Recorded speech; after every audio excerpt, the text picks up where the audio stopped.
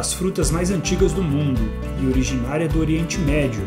O cultivo da uva teve início há cerca de 7 mil anos.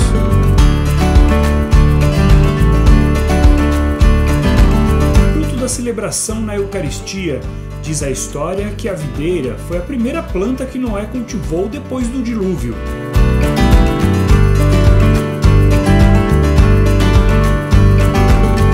Brasil, a uva chegou por volta do ano de 1935. Hoje, o estado do Rio Grande do Sul é o maior produtor da fruta.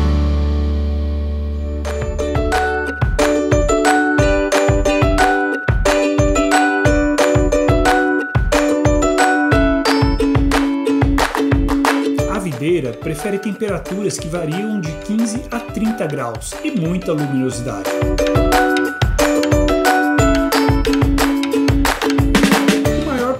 De uvas do mundo é a China, seguido da Itália e Estados Unidos.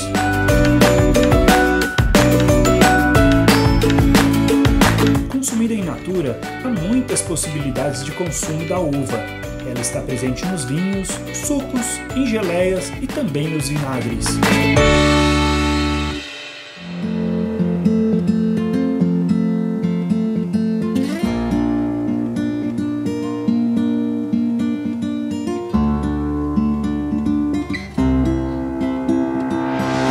Tipo de uva possui características específicas que dão origens a um determinado produto.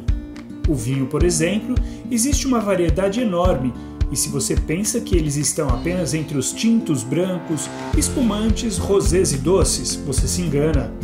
A uva produz muito além.